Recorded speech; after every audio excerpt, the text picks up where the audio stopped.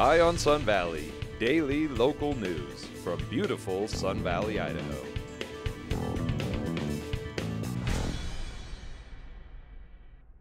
Hi, I'm Karen Bossick with Eye on Sun Valley, and today I'm with Robert Kantor, a world famous sculptor who has created these amazing mobile sculptures, kinetic sculptures, and set them in the beautiful backdrop of Sun Valley.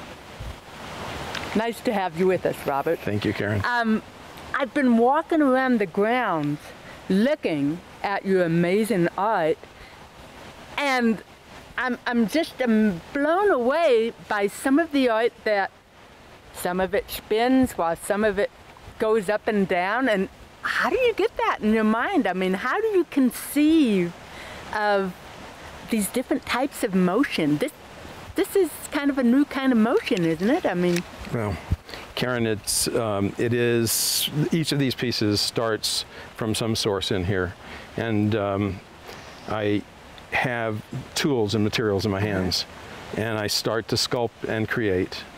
And it takes a life of its own, especially the mobiles, uh-huh. which balance, and then they are a combination of forms.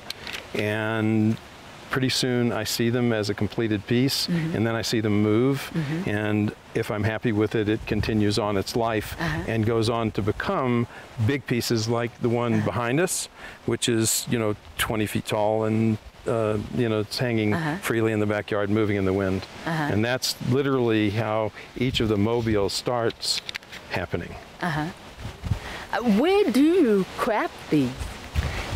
There's the in my studio, which is here in my house. Oh, really? All of the mobiles were made um, by me cutting out copper, putting them together with brass. The first piece, however, the one Don Quixote, mm-hmm. was done in New York.